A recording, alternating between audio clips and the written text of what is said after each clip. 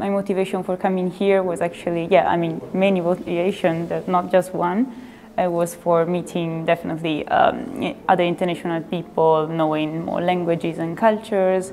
Um, from all over uh, Europe. We are looking for like real connection with our community.